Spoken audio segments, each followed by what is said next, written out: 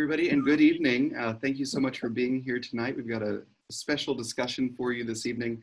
Uh, my name is Matthew Hughes. I'm the Executive Director of the International Relations Council in Kansas City, and we are so pleased to welcome you uh, to this month's uh, iteration of the International Film Club.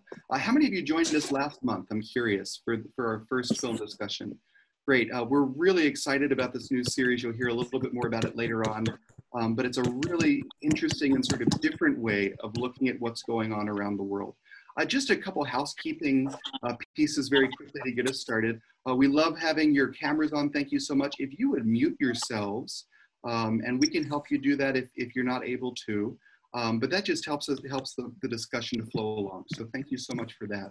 Uh, for those of you who don't know the International Relations Council, uh, we are a Kansas City organization. We strengthen Kansas City's global perspective by maintaining an active dialogue around world events, global issues, and their impact on our community.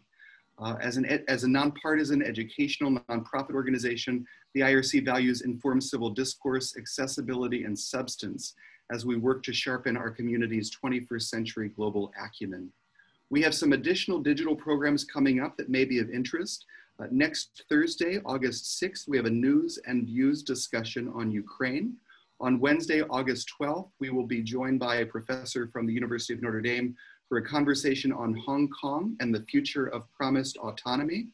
Uh, and I'm super excited. This is the first time we're publicly talking about it. Many of you got an email today about our new Choices Election Issues series. Uh, this is our new eight week series in the weeks leading up to the presidential election in November. Uh, we're covering all sorts of topics, uh, diving in. We are a nonpartisan organization, but it, as an educational organization, it's very important that we help uh, the community understand the issues at play in the election. Uh, so take a look at irckc.org for more information about that program series. Um, while you're there, please do sign up for our weekly newsletter where you can hear about upcoming IRC programs and other international opportunities in Kansas City. Uh, this is a discussion this evening. Kevin will start us out, but we do invite you to jump in and, and share your thoughts and reactions. Um, you know, the arts and particularly film have a special ability to transport us to other places, times, and realities and give us insight into the ways and the whys of the world. Uh, the IRC's International Film Club helps us to explore international realities and global issues using films of the world and about the world. Uh, next month, so you know, we, we are looking at the Oscar award winning film Parasite, uh, which is a personal favorite of mine. So I hope that you'll join us for that. It'll be the last Tuesday of August. Um, but this evening, we are in for a special treat, and we are very honored uh, to be joined for this evening's discussion of the 2020 film Da 5 Bloods by one of the film's screenwriters who happens to be a Kansas native. Uh, many of you will know Kevin Willmott. He grew up in Junction City. Uh, he has spent a lot of time in and around Kansas, uh, and he is now a professor at the University of Kansas uh, in film. Uh, he has had a tremendous career as a screenwriter, including being honored for his work on the 2018 film Black Klansman with an Academy Award for Best Adapted Screenplay. Kevin, thank you so much for being with us this evening, and the floor is yours. Oh, thanks, man. I appreciate it, man. Well, uh, with the Five Bloods um, uh, setting it up, um, when when we won the Oscar that night uh, for BlacKkKlansman, um, we had already written uh, Five Bloods. It was a it was a rewrite. There were two two uh, other writers before us that originated the script. Um, uh, Paul and um, and Matt and and, and they did a really great job. I mean, it was, it, you know, it's a, it's a really, um, you know, it was a rich, it started really as a, a very strong script. And, uh, you know, the, the joke that uh, I always uh, give about our rewrite was really that we kind of blackified it, really. And, you know, we really made it a black film uh, about the Black Vietnam experience. Uh, and, and I think when, when we were approached when Spike and I were approached with the, the script of the project, I think we immediately saw it as the opportunity to tell uh, the Black Vietnam story. Um, you know, most Vietnam films that we've seen and, and, and a lot of great ones uh, had black characters in them, but you know, never really from the black point of view, from the black soldier point of view. And so we saw this as an opportunity to, really kind of do that. And uh, the fact that it was, um, you know, that it was about the search for gold, for buried treasure, and, and that, that these guys were, you know, older and going back, you know, some 30 years, 40 years later to uh, find their lost comrade and, and the gold, you know, gave, gave it, you know, gave us the opportunity to make it really contemporary. And so that, I think that's uh, a thing that Spike uh, is always really interested in. I think I'm always interested in that as well. Um, that contemporary link really gives it uh, gives you the opportunity to deal with a lot of to really make the past present. You know, that's that's really I think what what that why that's so important. Um, and and it just it just makes it makes Vietnam more of a living thing now, and and uh, instead of looking back on it, it's it you try to make it feel like it's the war is still going on in a sense, and, and in a lot of ways the war is still going on. I mean it.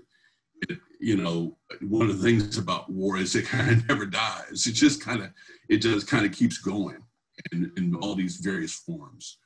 And so, uh, and we tried to lace that into the script in various ways. Um, that whole message about how war never really ends. Um, uh, but uh, it was a, it, it, wasn't a difficult rewrite. I think the the, the thing that uh, we really brought to the to the script was uh, flashbacks, uh, and uh, really the whole third act really was completely different than the original script that we saw. Um, you know, we we really you know delved into a couple characters a lot more, uh, specifically probably Paul's character, um, and, uh, and he was he was written pretty much that way to start with, but we just kind of took him to the next the next level. Uh, you know, made him a Trump a Trump supporter, uh, made him um, and he was really kind of already written that way because he was this is before Trump was on the scene when the when the, the other writers had written the script, but, um, but he was a racist. You know, not a not a horrible racist, but but definitely a racist.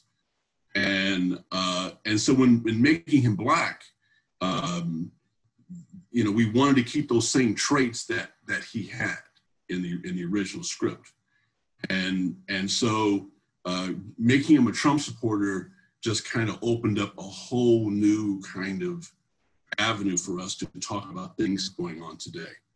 And, and for symbolism and for for things that just made it a lot more contemporary. Um, and but at the same time connecting to the past with with vietnam and and with war and with all of the things that vietnam is shaped by.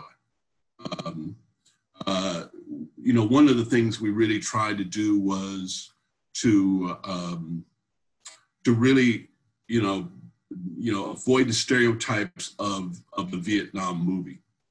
Uh, you know, we tried to treat the Vietnam characters, the Vietnamese characters, uh, a lot different than you see often in war films. I actually teach a class on anti-war film, and one of the things that um, you know that war movies that are I guess you'd say pro-war movies is that they make the enemy kind of faceless and and and um, thing, and and so we tried to avoid that in the film, and uh, so we did different things to try to make all the characters human, even though you know there's a Vietnamese gang in the film, and they, and that's kind of symbolic of of um, of really the war in that sense. Uh, we try we try to make those those characters uh, three dimensional.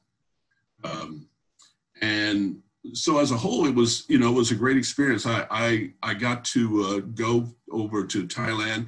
It was shot mainly in Thailand, a little bit in actual Vietnam. Um, I got to go there for about a week, and it was it was really great. Um, uh, you know, uh, you know that it was a quite a quite a big film in terms of, I think it took about three months to shoot.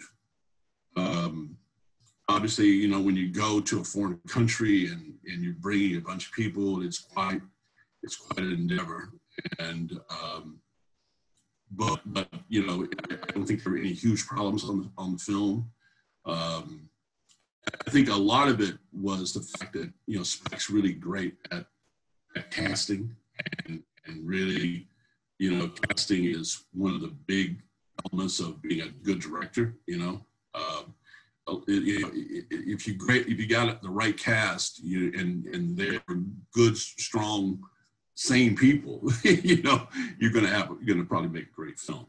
Uh, and uh, and and clearly there's some you know Delroy and and um, Clarke Peters I mean there's a lot of really great performances in the film. So um, maybe I can open up for questions now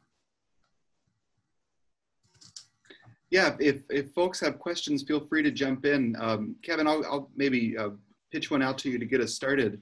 Sure. Uh, you know, one of the one of the the most striking pieces for me at right at the beginning uh, was the the lengthy discussion of, of black soldiers in U.S. wars, uh, which I think is a story that has not been uh, told or or at least heard uh, by by the majority of Americans, and I think that a lot of people are not aware. Um, and and one of the there was a, a figure uh, that was given at one point, uh, I think by uh, by a Vietnamese person about uh, the the proportionality of and and it was something like 11% uh, of the U.S. population was black, but 30 plus percent of the soldiers in Vietnam were black. Could you just comment on that a little bit? That was really striking.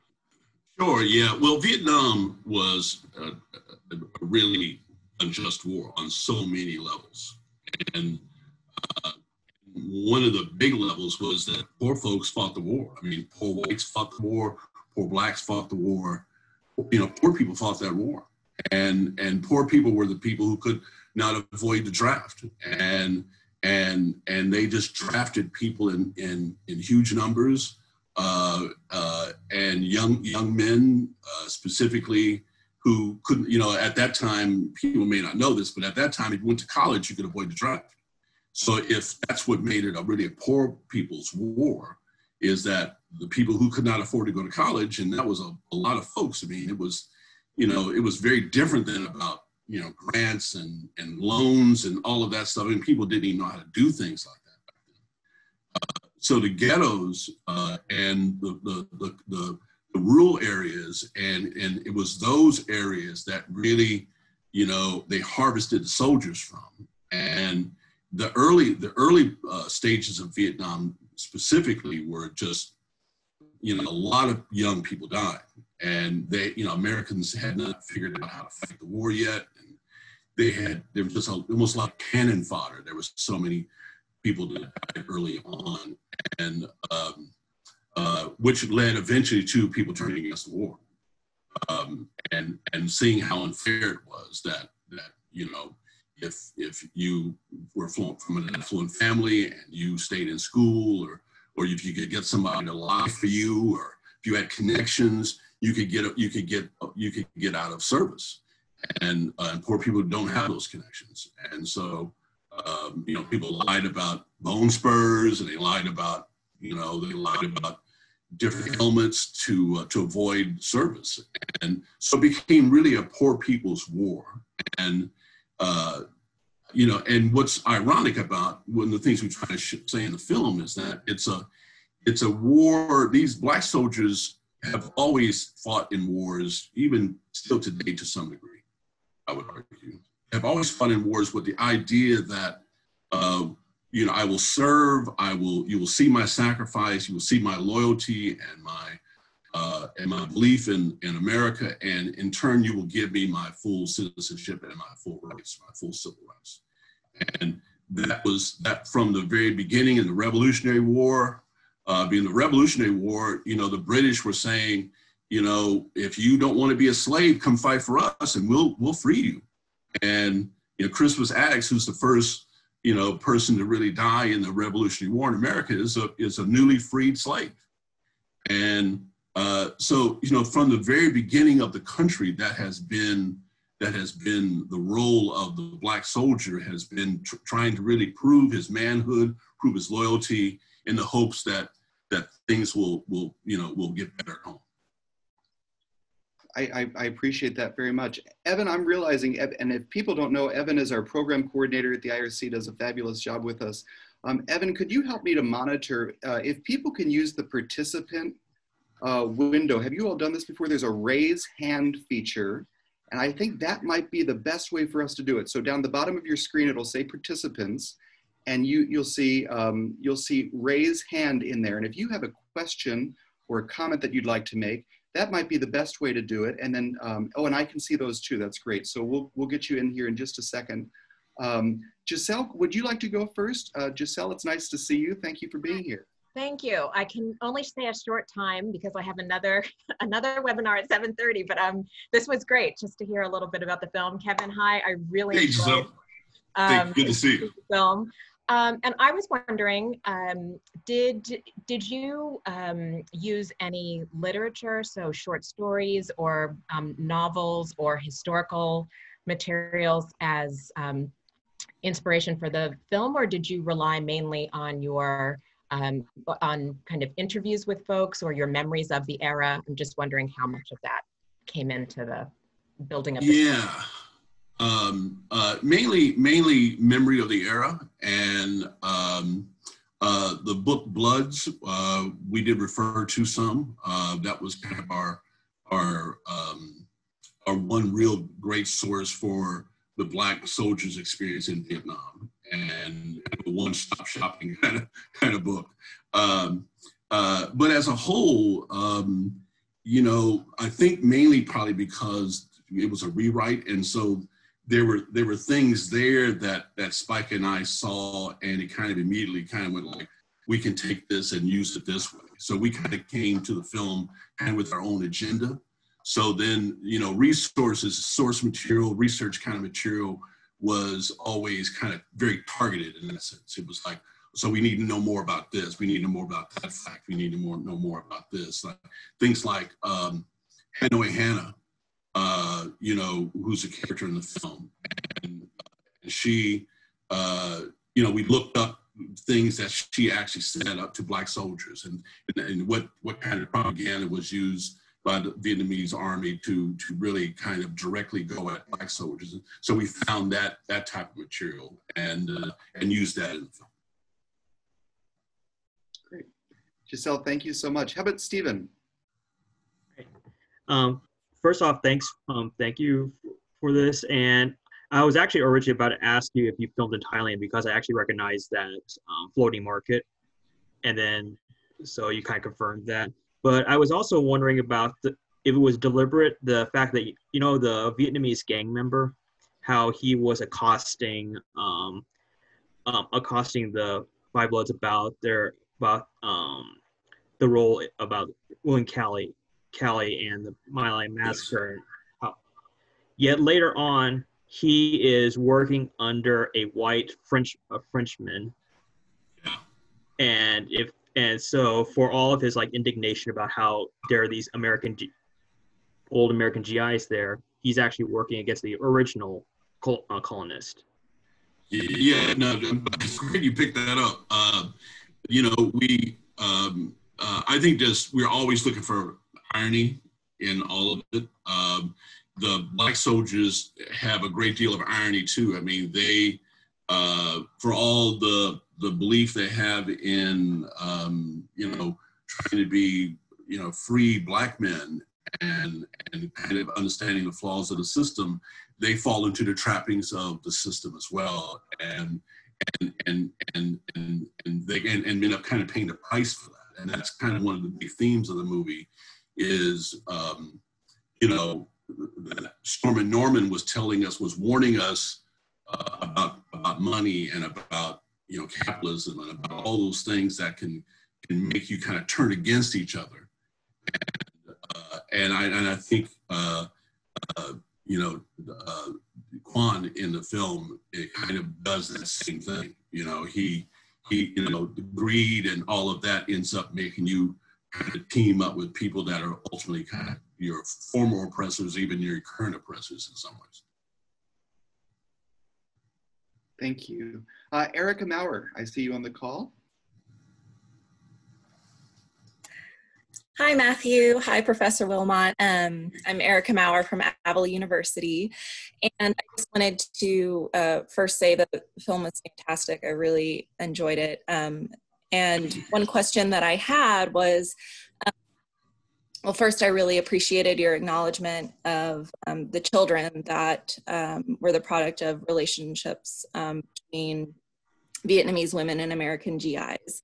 And I was curious to know if that was part of the original screenplay, if that was your own addition, and what uh, you used to inform the writing of, of that storyline. Sure, sure. That was that was originally part of the of the of the uh, was a part of the original screenplay, uh, but um, I think Spike and I both immediately gravitated toward that storyline. Uh, I grew up in a little small town called Junction City, Kansas. And Junction City is adjacent to Fort Riley, Kansas, where the Big Red One is. And that's, we used the Big Red One in the film as the, uh, as the infantry division that the Bloods are part of. And as a kid, I grew up really in my neighborhood were a lot of Black and Vietnamese kids.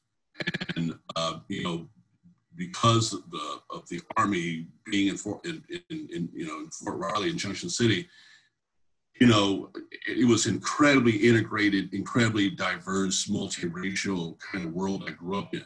And, uh, and black, black and Chinese, black, black and Korean, uh, black and Japanese, uh, black and Vietnamese. Uh, in fact, the, you know, the Michon character is named after a girl I went to school with.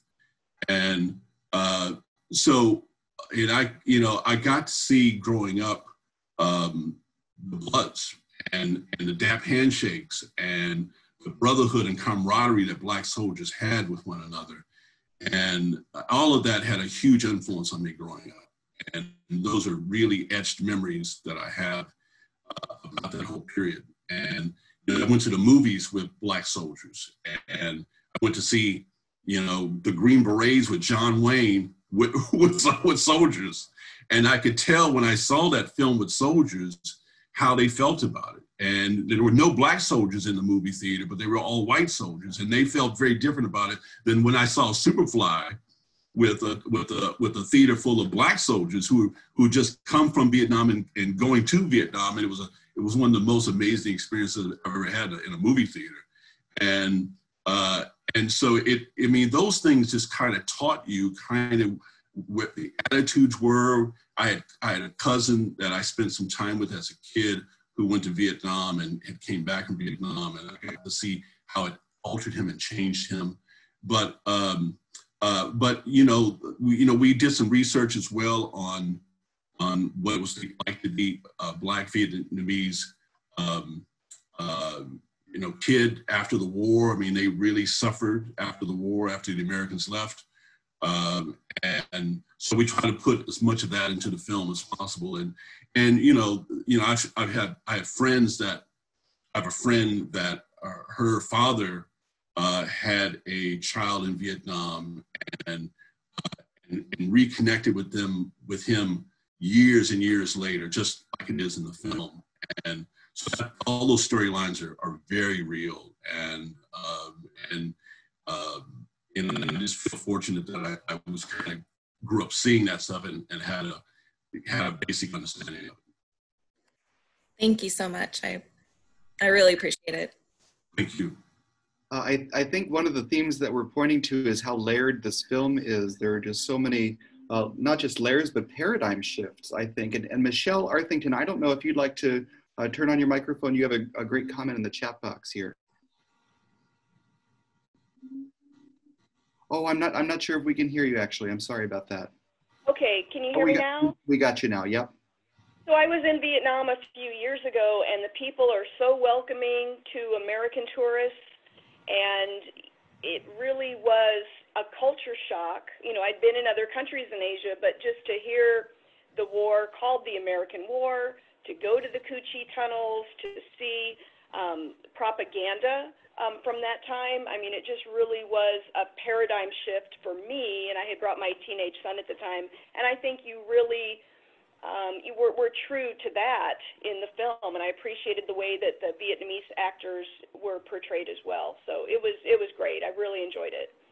Thank you. Uh, you know, one of the things that Spike does a really great job of is uh, when when you go to the world of the film, um, uh, you really try to embrace that world, and you and you go there not acting like you know. You go there with with you know wanting really the the the people of that of that world, the people of the world of the film to really inform the, the movie, really inform the story, and really inform your directing and all of that. And and, uh, and Spike does a really good great job of that. And, and I think because uh, there were things that you know terms like the American War and those kind of things. Those are those are like you said. Those things come specific from from the point of view of the Vietnamese, and and that's the way they talk about the war. And uh, we've had such a huge impact on on their lives, probably forever in that country. Uh, that um, you know, you just you just you know, it, it, it, it really lets you know, you know, how much of a of a mark we will probably have always leave on on that country and, and, that, and those people. Great, Michelle, thank you. Uh, Peter Gorovich, I see your hand raised. Oh, and I think you might be on mute. Sorry, it took me a second to get my scroller to get over there. We got uh, you. Kevin, uh, so uh, this is Tamara Falicov's mother. This is Celia Falikov. Hey, how you doing? Good to meet you. That's the only reason I'm on here. And we, said, we chatted with Kevin a little bit before you all came on, and we thought this movie is just brilliant, brilliant, brilliant, brilliant. And we think it deserves the millions of Academy Awards. It's probably not likely to get, but we thought it was fantastic. And oh, we, um, there are so many. There's so as as Matthew said, there's so many layers to talk about. I mean, one Michelle was I was in Vietnam about 15 years ago. I was overwhelmed with the friendliness towards Americans. It just takes your breath away. It's it's stunning. And they can talk about the American War, and you go to the museums that show the damage and the poisoning and the suffering and all that. At the same time, they're extraordinarily friendly to you.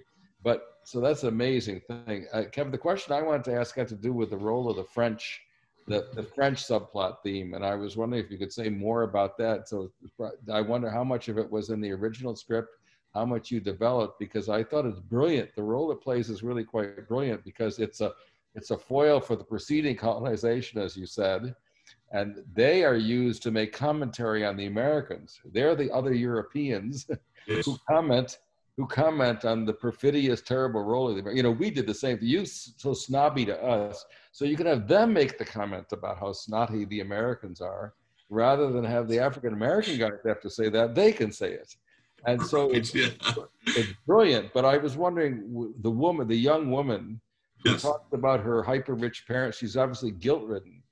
Yes. Where does that character come from? Could you comment on that? How much was that sure. there? How you developed it? Where's she come from?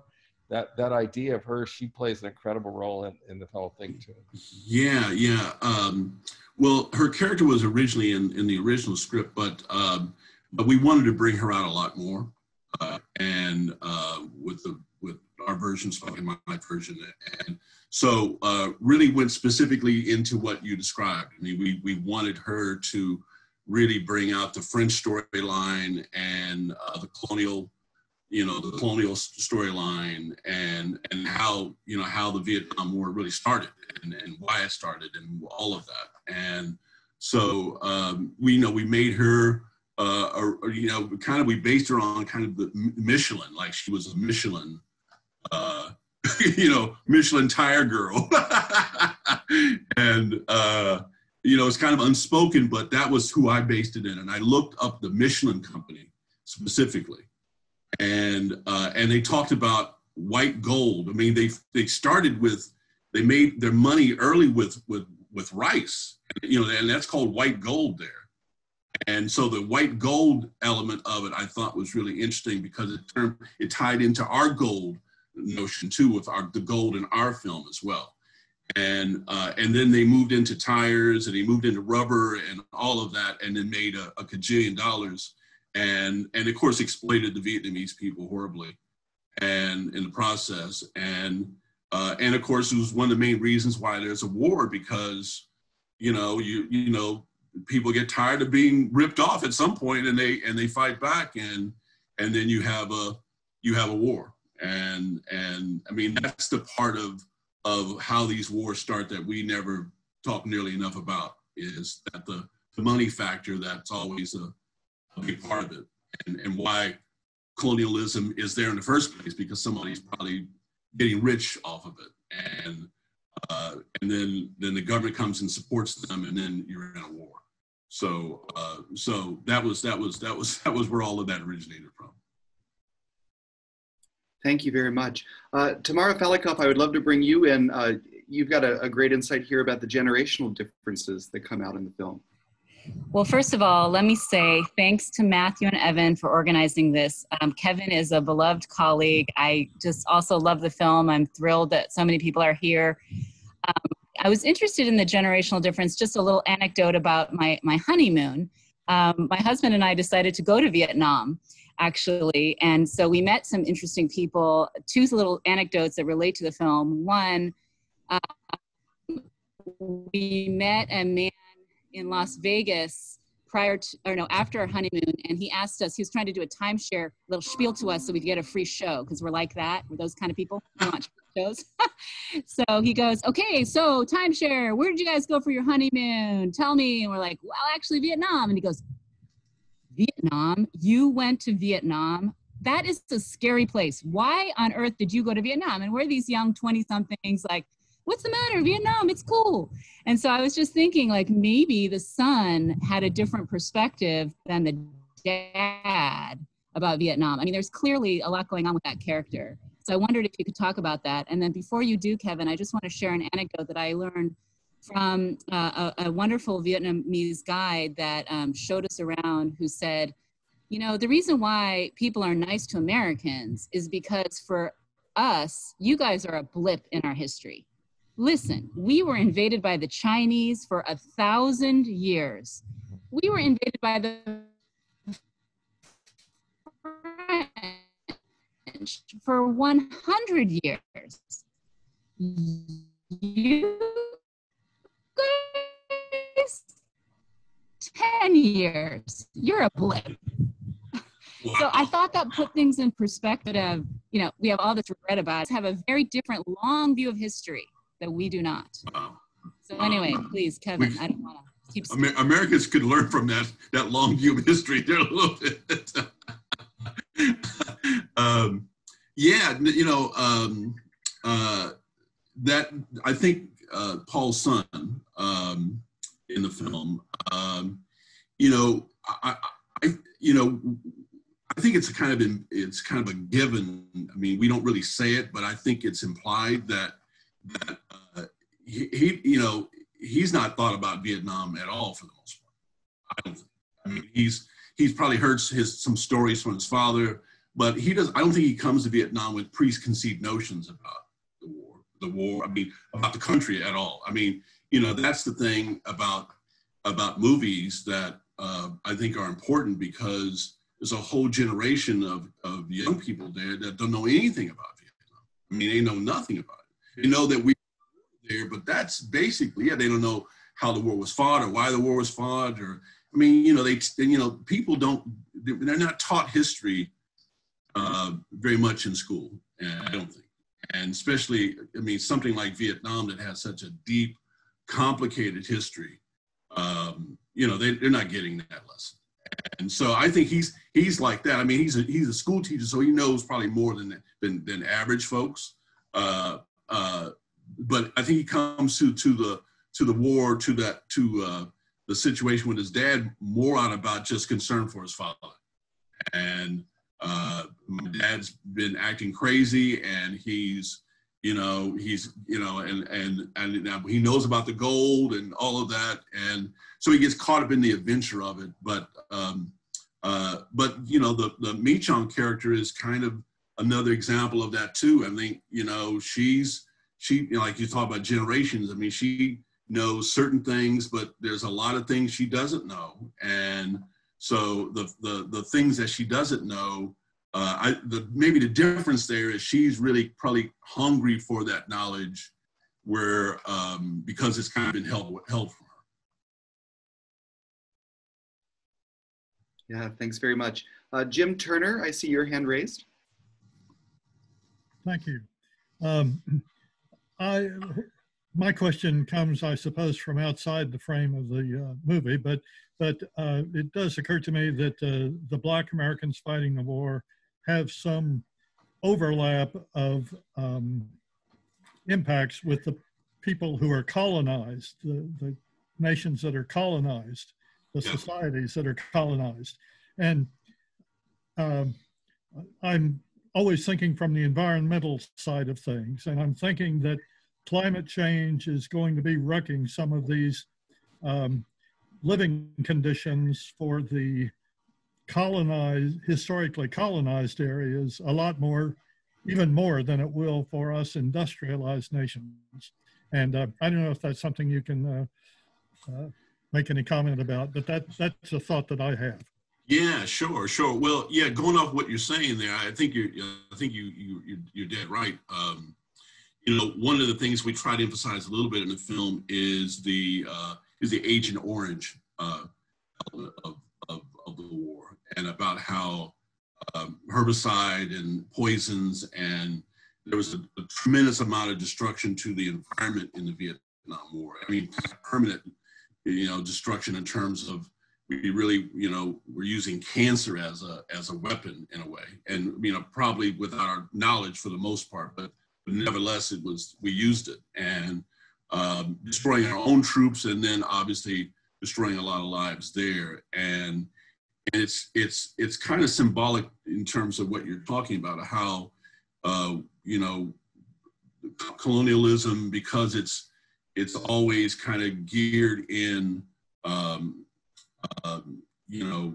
oppression and um, and and and really just kind of uh, you know the word I'm looking for, just really kind of ripping ripping anything off they can really, um, because it's because it's it's it's based in that. It's that's the very nature is about like stealing and robbing and um, and they literally kind of rob the environment as well, and and that and that and that that stealing the environment and robbing the environment, destroying the environment uh, for their own ends is um, uh, will you know I'm, the country there is still suffering from that and and Americans Americans here are still suffering from that as well.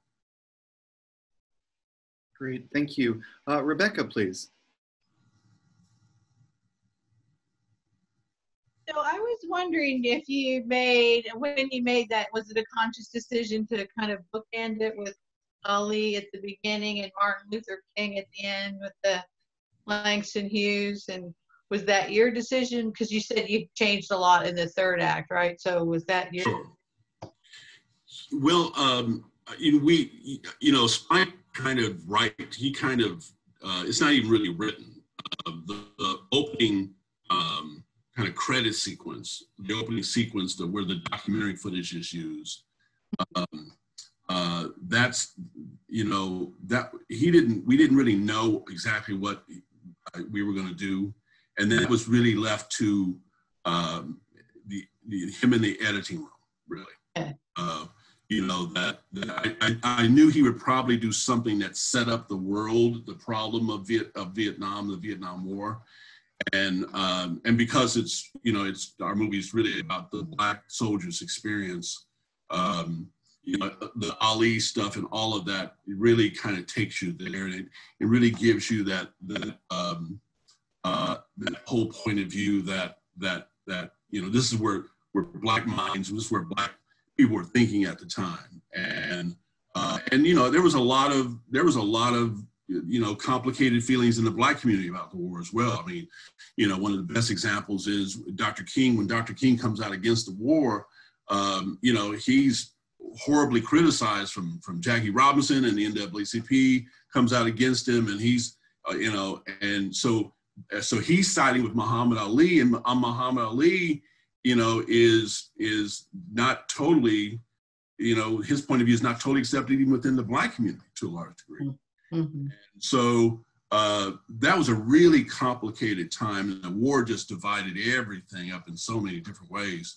Uh, and then the, the the end the end quote with Dr. King, I think Spike kind of came to that, seeing kind of how, um, you know, that that that the, the war in Vietnam probably got Dr. King killed.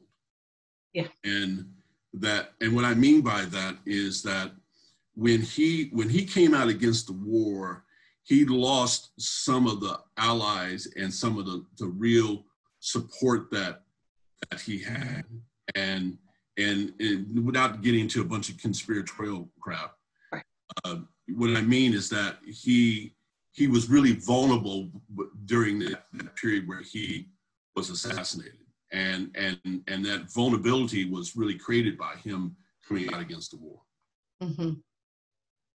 And I think the two of them lost a lot because of their stance. No, no doubt about it. I mean, Yeah. because, you know, people were telling King to just stick with civil rights, don't get into Right. the war thing because Yeah. You know, and and and Muhammad Ali is like, you know, you're the champ. You should, you know, you have years. You have not fought. You're you're you're losing your prime here. hmm hmm more than likely it cost uh, Muhammad Ali his health because he probably fought longer than he should have and and and and created damage because he fought longer than maybe he would have if he had been able to fight those years that he was sidelined. Thank you. Evan, would you like to jump in with a question real quick? Yeah, I, I, I would. Um, being a, uh, a huge jazz fan myself, I was, of course, um, delighted to, uh, to see Terence Blanchard, uh, you know, produce the score, particularly after the fantastic one for BlacKkKlansman. And I hope he's um, properly honored um, for, for this score as well. And I, I was curious about um, if you could speak to his work on the score and that working relationship um, between him and Spike and you know just the development of, of that because I think it's just fantastic. Yeah, yeah. Well, he's he's worked with uh, Terence for you know a long time, and um, and I think that what Spike tends to do, at least you know this is what I've seen him do. This is my kind of relationship with him, and and I think Terence has a similar kind of relationship. Is that um, uh, he kind of tells you what he wants. He's kind of tells you what he's interested in, and, then he kind of lets you do your thing. Uh, and and that's that's I think what what he does with with Terence. I mean, you know, he kind of creates a he creates a creative shorthand with you. I mean, we're all about the same age. I think Terence is a little younger than than Spike and I, uh, but um, but you know, we all kind of share the same uh, influences and the same kind of point of view and all of that stuff. So, you know, there's not a lot of discussion that happens really. You know, we we we, you know we'll we'll kind of talk about what it is and then and uh, you know he'll you know Terence I think just goes off and does it and then plays it for Spike and Spike may have some adjustments or some additional things but as a whole I think um, you know he knows kind of what Terence is going to do and, and, and Terence delivers. Absolutely, thank you. Thank you. Uh, one of the themes that we're seeing in the, in the chat box right now is about this ongoing nature of war, even after war finishes. And Chris, would you like to make your comment about the landmines? Sure. Can you hear me? Um, hey, Chris. Hey. So I grew up north of you, a little ways, Yes. you know, 15 miles or something like that. And I was just coming of age. I was early in high school when they decided to expand Fort Riley, supposedly to shoot bigger guns, which I think never actually happened. And it wiped out our farm, 300 farm families. So that was all happening in my middle high school years. And then I ended up in LA a few years later with all the anti war stuff. And believe me, that prologue with Inner City Blues and it's just like ah very uh, emotional and of course the the valkyries riding up the Yeah, the river. Yes. lot of the music just the only the only musical thing that i was curious curious about and that's outside of your jurisdiction but i was actually surprised that there was sort of a glory treatment on the early flashbacks as opposed to a grittier uh, y- you know that surprised me. But anyway, Yeah. you know, it's all it's always very interesting. But my question had to do with just personalizing. Um, I have wanted to go back to the farm. And I know some people in my high school have actually done that. The farm, all the buildings and everything are gone. So it's kind of like the way the pioneers would have seen it probably when they Yeah. approached. Uh, but one of the things I haven't really started researching this that I thought about is gosh, would there be buried munitions lying around? Um, and I know some people have gone back and they say it's really hard to, to, to it's really easy to get lost because all, a lot of the th- uh, things that you would rely on are, are missing. But that just made me wonder uh, because that landmine scene was very effective. Money is the root of all evil. Kapow! Good one. Um, yeah. What Yeah. is you know what is the situation with landmines in Vietnam and probably more more pertinently the Cambodia and other places? I mean, is Sure. it relatively cleaned up or is it still a problem? it's a it's still an ongoing problem and um, it's there's landmines there are uh, unexploded you know bombs that were dropped from from from the airplanes. Um, i mean there just so much you know tonnage of bombs were were dropped on the country. And mines and other kind of anti-personnel weapons and stuff that you know kids just people farming kids will step on something and and they still so all of that that whole organization that is uh, that we use in the film is based on a real organization that does that work. I mean that's all all very authentic kind of work that's still being done and not just in vietnam but in any place that's had war. And and, and vietnam just you know has a lot of a lot of stuff that in the jungle that you just can't find until you find it. And um, and you know they're still cleaning out areas and they're going back and cleaning out areas. And so it's a, definitely an ongoing thing. You know that that part chris you were talking about um, uh, what they did to the farmland uh, that's called soldiers would call that going out in the, to the field. And and and in junction city when they would let those those weapons would be discharged it would shake our house at, at, at home. And and and and you know and when i would talk to soldiers uh, they would say yeah we have to go out into the field. And that so that that whole area that that you're talking about those old farms that was what was called the field. And and they would just go out there and they would do war games and and you know set off big cannons and all of that stuff. And and so who I, I I would think they cleaned that stuff up when they were finished, but but but who knows? You know, I mean, uh, it's it was their it was their world, and and uh, you know, but they every every few months they would go out into the field and and do that stuff, and uh, so uh, but yeah, that that that that uh, the mine situation, all of that still an ongoing. ongoing. And I, the young people that you see near the end of the film that have lost limbs, all of those are kids that have unfortunately been the victims of uh, those uh, uncharged, un- undischarged uh, munitions. Yeah. Yeah, my son is um was is with the UN uh, now in Armenia, but he was in Lebanon for a while, and uh, took some trips out with people that um, do the landmine removal, and they said it was really scary. It's very, very scary. Yes. Yeah, not something I want to experience. And uh, Sue Ann had a comment, and Sue Ann, if you want to hop on about the the boat scene with all the merchants, uh, and have, how war sort of lives right under the surface. Sue Ann, are you are you available to hop on? In, in case not, you know, just to replay that scene very quickly. So you've got, you know, here they come down the boat, right? You've got the the, the down the canal, you've got the merchants on, on both sides. And there's this really humorous, what starts as a really humorous interaction with the chicken merchant, right? So here he is, he's trying to give him a chicken, no, go away. But it quickly devolves into uh, something. And, and what really struck me was, I mean, we, we had already heard about Paul's PTSD and, you know, he's suffering and, and you know, throughout the course of his life. Um, but it went both ways, right? And there was a really visceral Yes. reaction from the Vietnamese merchant as well. Would you like to comment on that, Kevin? Yeah, that's that's one of the things Spike's really great at. Um, that um, including the Vietnamese point of view. Uh, that uh, originally the way the way it was written was really more just about Paul's you know PTSD and his reaction to you know kind of getting into a frustrating situation. but it, but it, it, it you know, but uh, as Spike does with like Do the Right Thing and other movies, you know, showing the other point of view is is key to really making those scenes work.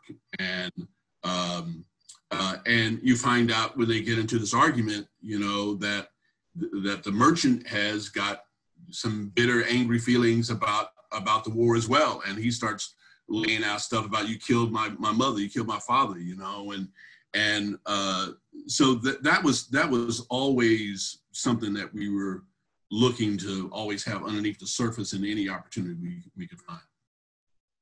Absolutely. And Sue Ann, feel free to jump in if you're able. We're, we're happy to have you. Lori, I think I saw your hand a minute ago too, if you'd like to hop in and then maybe Sue, Sue Ann can come in. Okay. Yeah. Hi. Can you hear me? Sure can. Okay. I really love this concept because of the International Relations Council, but having it through um, a work of art is fascinating. I enjoyed the two embedded links to crit criticisms of the work or just critical analysis of the work. And just one more comment. I appreciate the foreshadowing on the mine because um, I could sort of see that coming. So thank you because I struggle with that in Vietnam movies. But um, this is just a film filming conceit, I guess, because I loved that the actors remained old in the flashbacks. There mm-hmm. was the one still shot of them where they had been digitally. But right. did that did that influence how you wrote about them?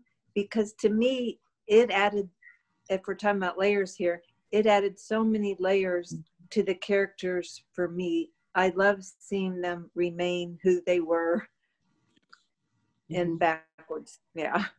Yeah, yeah, thank you. Um, yeah, I mean, that was a choice that Spike made early on from the very beginning. That he was not going to uh, digitally make them young um, and or have younger actors play them in, mm-hmm. scenes. Uh, and so when and and it was it was for artistic reasons and also practical reasons. You know that that digital you know enhancing stuff is is very expensive. And mm-hmm there's that would just add a lot of money to the budget of the film. Um, uh, and as well, you know, if we had used makeup in in 100 degree weather in you know Thailand, well, that's really you know tough too. So, um, so uh, when he made that choice, I really started trying to find uh, themes I could connect. What kind of what kind of um, comment can I make on war by, by by applying this choice? And, and it made me think about how war never really never ends. Mm-hmm. Uh, you know, there's several scenes that talk about that in various ways. There's a couple that, that were that were cut that, that talked about a little bit, uh, but that that I think is one of the main points of the film. That that um, it, that war never ends in all kind of different ways. I mean, the landmines that never ends. The munitions that are around, the danger never ends. The, the environment destruction never ends. I mean, nothing. When you when you go to war, it it leaves a, a permanent thing in in the lives of anybody it touches, and um, and and that's that's just the nature of war. And um, and I think the flashbacks really kind of work really great to bring that up. You know, which you know, there's always a little fear of how that was going to work, but I, I've not heard anybody that hasn't really liked that choice. So I I hope it starts a trend because I don't I don't like all that CGI stuff, especially in characters. I thought it was beautiful and, and did add something a lot. So. Thank you. Thank you. So we're, we're coming to the end of our time. So Sue Ann, I would love for you to jump in. And then Dustin, you will get the last question, sir. You've got a good one to close on. So Sue Ann, please. Um, mine is more a comment. Uh, as I wrote uh, in the chat, I'm of the age where I was in college. I was at Ohio University um, during the Vietnam War, uh, especially in the late 60s, early 70s, in that part of the war. Um, we were, I was an activist, and we helped close the university down, which I'm very proud of. Um, what was hard for me, though, in one part was watching the film and really realizing how much anger I still have at the United States. And it probably, and the presidents, the people who were presidents during that time period. And it probably underlines um, my perspective on the world, especially about the United States. I'll stop there. Well, I, I uh, thank you, and thank you for your service as an activist because I think people, people, um, that was a difficult time, and it was people like you that helped end that madness. And thank you.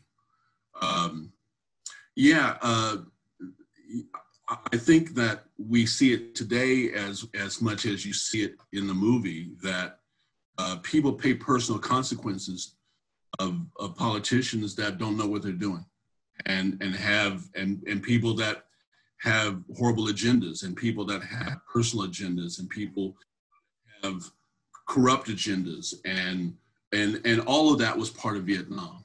Uh, and and uh, and a lot of people's lives were destroyed because of that. And uh, and that's that's I mean people you know talk about politics and stuff but but that's why politics matters because in the end, people's lives are affected and people's lives can be altered. I mean, I have a cousin that that was never the same after he came back to Vietnam and and kind of lived a sad a sad life after that and and died kind of in a horrible way because of it. And uh, and that's just he's just one of thousands and thousands of people, you know, in America and in Vietnam that were horribly affected by the war. And um, and you know you know people will ask you when you make a film well why are you making this vietnam movie now? I mean why why now? And and to me that's kind of a sad question because um, this is something that has shaped america. Yes. and it shaped it totally has shaped america. I mean it, it affected us politically it affected socially it affected families it affected every and so even asking the question of why now, I mean, it lets you know kind of how we think about how we think of movies and how and how movies you're supposed to only make movies that have something that go that's going on, you know, that's culturally really current right now, and mm. it's just stupid. Uh, and and it's that kind of stuff that that I think um, you know makes us not really learn from our mistakes and not learn from our history. It makes us not learn from our past. I would just add that we as Americans have not treated the Vietnam vets very well at all. And that, again, it's like part of our problem as a country. Um, those people who did come back, and like you said, your cousin has not really recovered. Um, that's one of the outcomes of war. That's right. Thank you. Um, there is so much more that we could discuss. And uh, Kevin, I had about 10 other questions for you that we'll have to find another time to talk about. Uh, but Dustin, I would, I would love for you to close with, uh, with your question, please. Sure, Dr. Willmott. I like to ask people who are in the arts, like, what are their favorites in their area? So what are your five favorite films? Well, uh, that's always a tough one. You know, mo movies for for filmmakers are like their kids. It's hard to it's hard to you know you know it's hard to say what you what kid you like most of your kids have five kids so so this is this is kind of like that question for me. Anyway um you know um uh probably some of my favorites are um and these are movies that probably had effects on me that it, that I learned from that I go back and watch anytime they're on TV I just start watching them. Um, Chinatown would be, probably be a, a big one um, I learned a lot about screenwriting from Chinatown. Um, uh, uh, one of my favorite films is um, a movie called Seven Beauties. It's an Italian film by Lina Wertmuller. Uh, she was the first woman director to be nominated for an Academy Award. Uh, it's called Seven Beauties, and uh, it's a really great film. I, I learned a lot about um, satire and drama and combining satire and drama into one kind of, of um, commentary uh, from that film and from her movies. Her movies are often about sex and, and politics and things like that. And, you know, um, uh, probably another one is uh, The Verdict with Paul Newman.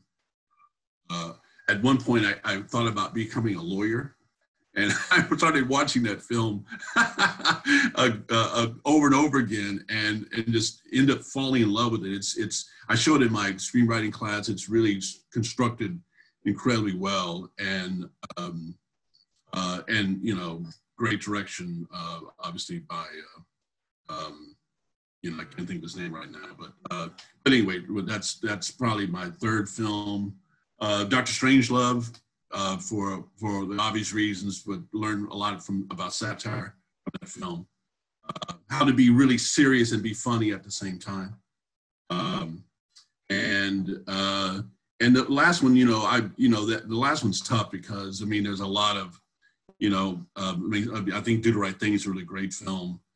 Um, I mean, there's so many. I have a lot of guilty pleasures. The the, the good and the bad and the ugly is uh, one of my favorite films. Um, I just, I mean, I fell in love with that movie as a kid, and it really, it's the first movie that I I thought of as a movie as a kid, and I, you know, I, I asked my mother for the for the soundtrack album, and she thought I was.